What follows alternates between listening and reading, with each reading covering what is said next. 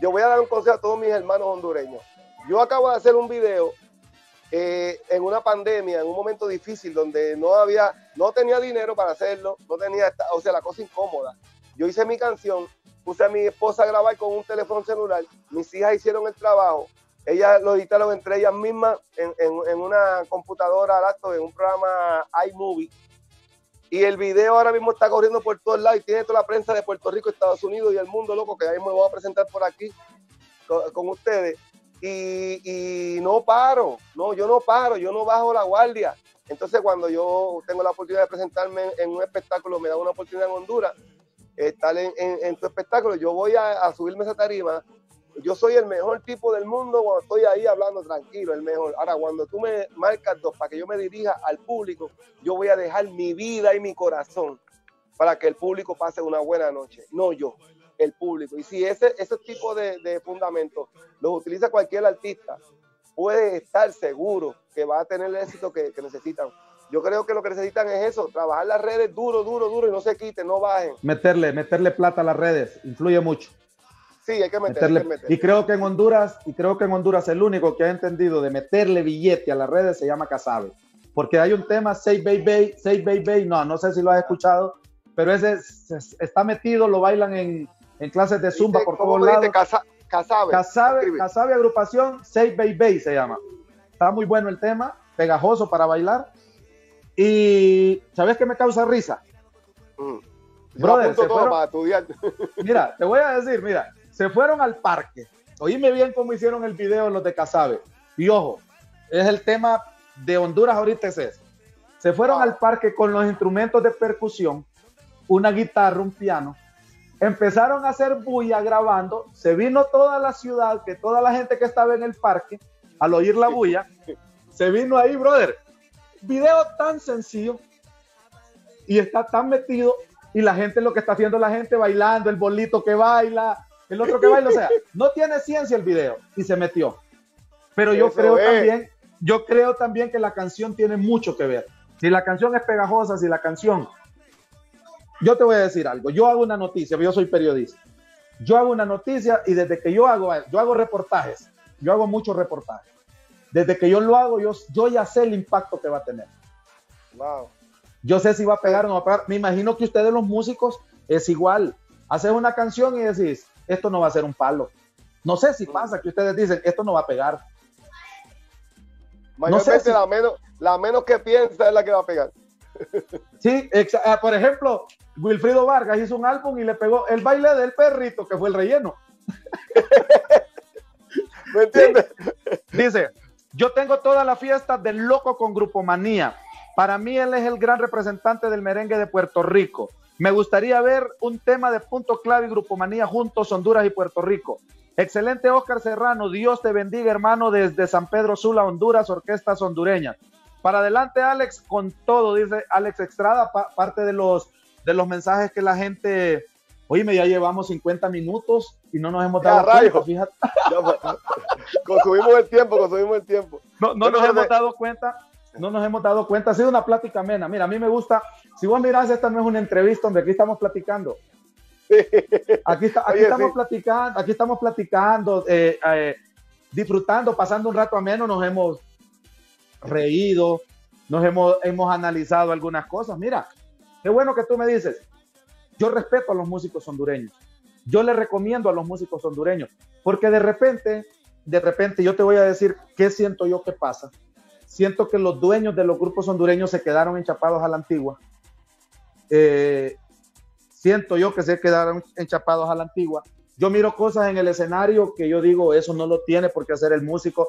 Por ejemplo, el cantante haciendo un live, transmitiendo, cantando y transmitiendo un Facebook Live, eso eso no, eso no es el cantante, eso que lo haga un conserje, que lo haga un asistente, que lo haga el motorista, que lo haga cualquiera menos el cantante. Entonces yo digo, estas cosas son las que nos limitan o limitan al artista hondureño. De repente yo lo digo y se molesta. Dicen es imagen que todo ando opinando, pero yo lo miro y yo tengo un ojo más allá. Por ejemplo, yo te digo, la mayoría de los grupos de Honduras no tienen canal de YouTube el, mío estoy empezando ahora. El mío, Mira, te voy a contar. Yo tenía un canal de YouTube, oíme bien, tenía un canal de YouTube con 96 mil suscriptores. A mí me lo robaron, me lo hackearon y me lo robaron. Loco, a mí el canal de YouTube me daba para vivir. Oscar, me daba para vivir. Ahorita estoy empezando, 3 mil y algo tengo, o sea, no tengo nada porque estoy de cero, empezando de cero. No tengo nada. Pero los grupos de Honduras no, ni siquiera tienen un canal de YouTube. Tienen que, tienen que organizar todo eso desde ahora ya, porque yo te lo digo, yo he visto muchas cosas. Y yo estoy pendiente de Honduras. Yo me meto aquí, busco diferentes cosas, lo que, lo que pueda. Tengo muchos amigos que me envían información de lo que está pasando en Honduras. Y, hay demasiada música, son demasiado buenos, demasiada musicalización. Y también quiero felicitarte a ti, Alex, porque Ritmo Catracho, eh, dándole la oportunidad a que, a que la juventud, a que las nuevas generaciones valoricen culturalmente y respalden a, lo, que tienen en casa, eh, es algo encomiable, es una labor buena, es una, una labor positiva, una labor que habla bien de, de, la gente que yo como, como extranjero me siento feliz y orgulloso de escuchar una persona que defiende lo suyo así como tú lo defiendes, que me lo dijiste fuera de cámara, pero te lo quería decir aquí porque me parece genial tu idea, me parece genuina tu idea y me parece patriótico. Hay que respaldarlo, nuestro, aquí estamos hablando de artistas y de música, y hay que respaldar nuestros músicos, hay que respaldar nuestros talentos, hay que valorizarnos. Aquí en mi, en mi país una de las cosas que a mí me ha dolido mucho es que la música típica la gente piensa que es música navideña y muchas personas jóvenes creen eso y no es real, no tenemos una música que es para todo el año, una música bien preciosa. Yo soy nacido y criado en la música típica y la conozco y eso duele mucho. Y cuando yo veo una persona como tú que se preocupa por, por, por, sus artistas, brother, yo le doy todo el crédito y el pueblo va, va poco a poco entendiendo. Eso no, no, eso sí se lo voy a decir a todos los muchachos. Mismo está haciendo la fuerza que hay que hacer, pero no se pueden desesperar. Esto es un poco a poco y, al y según vaya la bola dando vueltas y usted poniendo su información en las redes sociales con su canal de YouTube y todo bien puesto, yo le aseguro que van en poco tiempo, en poco tiempo, no más de dos añitos, los cambios internacionales van a ser muy, muy satisfactorios. Fíjate que una empresa, una empresa, una empresa hondureña hizo un estudio, una empresa hondureña en Estados Unidos hizo un estudio cuál programa es el referente para los hondureños, cuál programa es donde la gente lo busca en las redes de YouTube, en Facebook, en Instagram. Salió Ritmo Catracho. Pero Ritmo Catracho, mi canal, mi canal anterior, mi canal anterior tenía la música de todos los grupos, brother. O sea, yo estaba subiendo videos en mi canal, subiendo, subiendo, subiendo, subiendo. Vos te metes a mi canal de, de YouTube, vas a ver que lo que hay es información de grupos hondureños. Te metes a mi, a mi Facebook, fotos de las bailarinas, fotos de los grupos, chavas bailando, videos de esto, o sea, se están moviendo constantemente. Yo tengo eh, visitas de videos, visitas en la página de Facebook, de YouTube, que también monetiza. También, también hay ahí otro poquito. Eh, videos de 4 millones de reproducciones, de 6 millones de oh, reproducciones. Entonces, es, pero, yo digo, brother, ¿por qué los grupos, por qué los grupos no lo hacen? ¿Por qué los dueños siguen, siguen a la antigua? Están a la antigua, Oscar. Pero lo van a hacer, lo van a hacer. Yo estoy seguro que sí, porque... Bien, eh, tenemos... Tenemos un pequeño problema con, con, con, con la entrevista. Eh, ya la estamos recuperando porque está muy buena. Está muy buena, la verdad. No sé si me escuchas, Oscar. Sí, te escucho claro y fuerte. Ok, ahora sí, vamos. Vamos, que se estaba como, se estaba como cortando. Ahora sí. Pues bueno, este, ya, ya casi estamos, de, hablarte un poco de, lo que estoy haciendo. Eh, tengo, eh, desde, que sal, desde que salí como solista, pues saqué una primera canción que se llamaba Marilu. Este, luego de eso tuve una, este, tres o cuatro canciones más hasta que llegué a una que se llama Lola Sola. Pues todas esas canciones las pueden buscar por YouTube. Y después de Lola Sola, eh, hice unas cuantas canciones más y ahora estoy sacando una canción que se llama Dime que tú quieres de mí, que fue la que te hablé del video. Y ya estoy haciendo mezclas diferentes, buscando un sonido. ¿Cómo le haces esa? No, espérate, espérate, espérate. ¿Cómo no? ¿Cómo le haces esa? ¿Cómo le haces esa? Dime que tú quieres de mí, dime cómo le haces. No. Ah, esta dice, dime que tú quieres de mí para poder enamorarte. Dime que tú quieres de mí, si ando loco enamorado de ti. Tiene un coro que dice, Dime que tú quieres que yo haga, Dime que tú quieres que yo diga. Vamos a darle paso al corazón que se queda la dirección para la cosa bonita. ¡Qué loco! Bien, Oscar, estamos ya aterrizando, estamos ya terminando. Eh, este año, este año no va a haber aniversario de Ritmo Catracho. Seguro que no va a haber. Eh, pero ya tengo tu número de teléfono. Vamos a ver qué podemos hacer el otro año.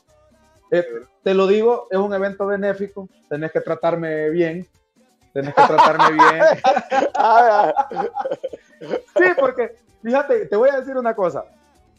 A mí me dicen que ya es tiempo que le metas un internacional, pero si yo voy a invertir un montón de dinero en un internacional para quitarle, para quitarle a los niños, eh, sigo con los hondureños.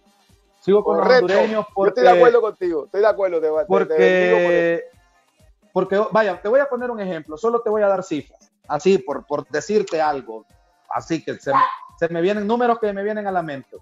Me decís vos, Alex, yo voy a ir a tu evento por 10 mil dólares, vaya, se me ocurrió, se me ocurrió una cifra. Estoy especulando. Y vengo yo y digo 10 mil dólares por 25 que es el dólar. Ah, no. 200 y pico mil de pesos. No, no, no, no, no, no, no, no, no, no. Hermano, yo te agradezco, yo te agradezco. Ahora, si esas, consigo un patrocinador que me diga, yo te doy a Oscarito, cobrar lo que cobrarlo cobrar lo que cobras porque no le estás quitando a, la fundación. El, es que yo soy claro. Yo le digo a los grupos, por ejemplo, los más caros, le digo, loco, ¿cuánto me cobras tanto? No te doy tanto. Esto es para los niños y acomodate ahí. Si se puede acomodar bien y si no, no. Pues. Pero sí, me encantaría, te lo digo, me encantaría tenerte eh, en un aniversario. Por eso vas a cantar que 40 minutos, lo más 40 minutos, 30 minutos, y si la gente pide otra, se jodió la papada, pues tenés que cantar otras y, y otra y otra, pero eso es así. Hermanito Carito, te agradezco por la oportunidad, te agradezco por tus minutos. Aquí tenés un amigo, eh, no dudes, tenés mi número, tenés mi número de teléfono, guardalo, ponele Alex Marquez, ritmo catracho. Eh, te invito a ver mi programa mañana a las 2 de la tarde, te voy a mandar el enlace para que lo mires y ahí vas a ver de lo que yo te estoy hablando. Seguro que sí. Pues nada, te este, declaro bendiciones sobre ti, sobre tu familia, sobre todos los que trabajan contigo en Ritmo Catar.